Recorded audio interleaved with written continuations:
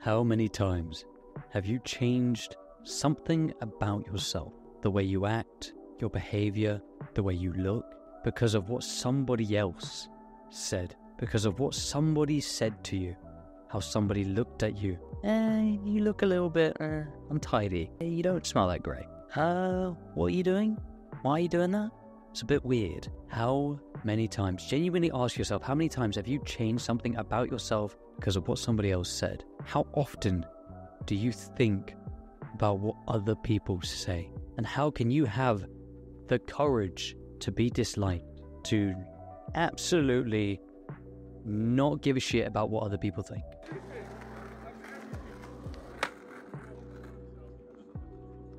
First things first, how are you? I hope things have been good and I hope things have been alright. Now, getting straight into the video, yeah, if some random person comes up to you and judges something for what you're doing, even though you're trying to do it for yourself, there will always be people like that no matter what. I am on here trying to help other people learn from the experiences that I have learned from, to avoid the mistakes I have learned from. And yes, I do get the occasional person, very rarely, but the occasional person who are saying that, oh, this is stupid, like, why are you trying to help other people? Genuinely, that sounds ridiculous, right? But it happens. Sometimes on YouTube, sometimes in real life, when I tell people about what I do, it happens. You will always have people who are going to say something, voice their opinion about something that you've done or how you are. And what's important is learning to distinguish the people you should listen to and the people that you shouldn't. Now, I can help you learn to not give a shit about what random people come up to you and say. You know, there have been times where I mentioned it and I was like, you know, I'm gonna start going to the gym, and some random person of the group, of this friendship group that I I've never ever I've just started to get to know, would be like, why why are you going to the gym? Why are you trying to be healthy? I can't believe they actually said that. I was baffled as well. I was like, because I want to be healthier? Is that fucking wrong? Sorry? But it made me think. It made me think maybe I shouldn't go to the gym, you know, if it's going to make all my friends friends insecure about themselves, you know, maybe I shouldn't go. Some rando who said it was unhealthy to be healthy. I don't know where the fuck they got logic from, but they said that. and I was thinking, what? Why am I going to let that dictate my life? Something I'm proud of trying to change. And that's the secret to learning how to be able to have the courage to be disliked, to absolutely not care what those random people come up to you and say about you. People who you don't even know, yet they've said something hurtful. How to literally not give a fuck. And this is the secret people always choose to not change. Unhappiness is something that you chose for yourself. Some might say that you don't have the courage to be happy. Like the title of this video, How to Have the Courage to Be Disliked. You lack the courage to be happy. When we try to change our lifestyle, you know, you're going through a big mental breakthrough right now. You want to change your life, you want to start becoming more healthier, eat healthier food, go to the gym more, meditate so you can improve your mental health, start looking into finance, how to improve your wealth. You want to make some big important changes in your life. You want to get onto self improvement and you just want to try and start to be better. The moment you're trying change, that's when you put your courage to the test. Because people, no matter what, by nature, we will always want to choose to not change, to stay comfortable. And that's understandable. You know, when we're trying to change something, there's the fear of failing and there's always that fear of disappointment. There are reasons to why we are afraid of change. But if you manage to get past that, if you manage to build up the courage for yourself to be happy, to make change in your life for something positive, and some random motherfucker comes up to you and criticizes you for it, why on earth would you listen? Yeah, we do, because they're hurting our ego. They are saying something about us that's hurtful. But then why should you listen? You just had the courage to face that change. You just had the courage to be happy. You didn't lack that courage anymore. And you're going to let that be belittled by some random person who's telling you that that's wrong? What? You are worth so much more than that, than some random person's opinion who doesn't matter. You know, like, yeah, I, this is something else that happened, right?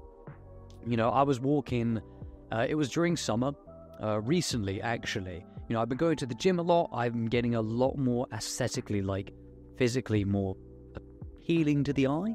Like, I'm improving my physical strength and my looks, and I'm happy of the progress I'm making with my body.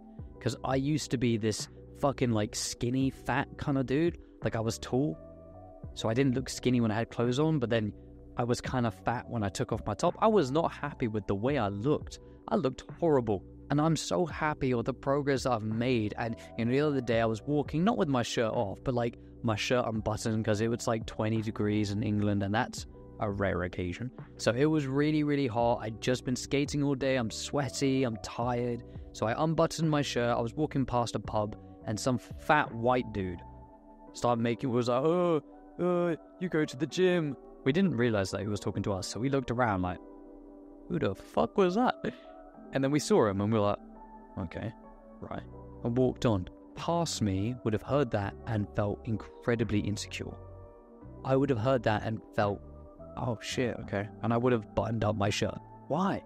I had the courage to make a change. And the reason was is because I was ashamed of the way I looked.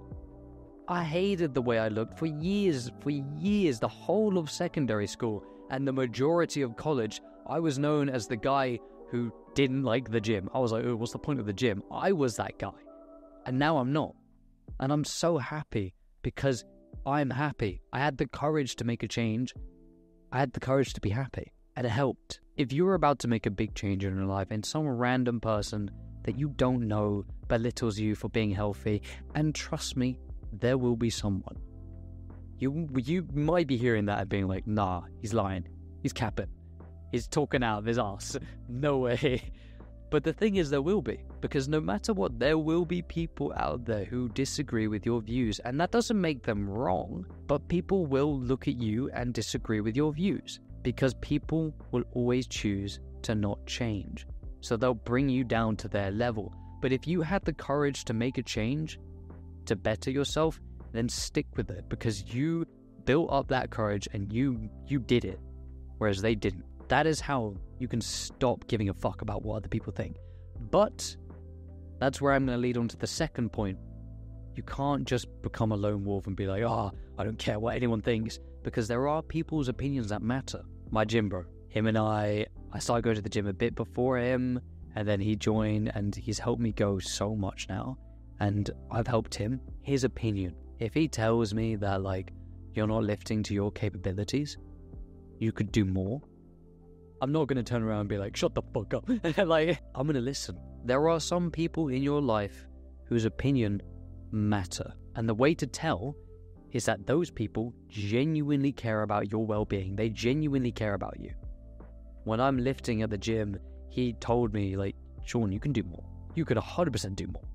And I looked at him and I was like, you know what? Yeah, I'm going to give it a go. And I did. It felt good. Yes, there are so many people out there who are going to be random people, right? You don't know them that well. And they're going to look down upon you for you trying to better yourself, for you trying to change. They will look down upon you, but you just can simply ignore them because they don't matter. You built you built up the courage to make a change. You should be proud of yourself for starting. And there are other there are other people people whose voice matters. You know, I've got another gym bro, and he is a, such a straight down to earth guy. You know, he will tell you in your face how it is. You know, I was skating and I just started. He's been skating three years longer than me. I went up this ramp, tried to kick turn, and I fell. I fell. I really hurt myself. And he came down, he picked me up, and he was like, You're a fucking idiot you need to learn your board control better. And at first, I felt hurt. I was like, dude, I'm in pain. What the fuck? Why? you just picked me up to fucking verbally abuse me. and um, he, he told me, nah, you need to get better with your board control. And you know what? I was like, nah, I know this guy. He genuinely cares. He genuinely cares about my well being. That's why he's being harsh. He doesn't want to see me hurt myself, so I'm going to listen to what he says. I have not improved this sparsely ever since he told me those simple words. I have had made the most improvement in the past week. being able to ollie up a ramp, being able to kick turn with no ease, doing fakie 360 tricks. Yeah, you guys probably have no idea what I'm talking about, but I have improved so much just because of what he said. There are people who genuinely care about you and their voice matters. And there are a lot of people who don't fucking matter at all. The best way to tell them apart is just by asking yourself a question Does this person really care about me? Does he really support me? If I'm tired at the gym, will he tell me, No, we're both going because we both promise ourselves we're going to the gym today? Is he that kind of person? Hopefully, this helped you out. And I know this was a slightly longer video, but I genuinely mean it. If you are trying to make a change, please don't let somebody who doesn't you don't even know that well try and stop you to bring you down back to their level. If you want to make improvements, you got this. I hope things have been good and I hope things have been alright. And I'd be really appreciative if you click on the video that's going to pop up in the corner here, because this video could help you out. And subscribe if you want to see more content like this. Stay consistent and don't give up. You know what time it is? The lighting is like in the evening, so like the lighting's a bit shit, I'm not gonna lie. My bad, my bad. Anyway, some improvement goes,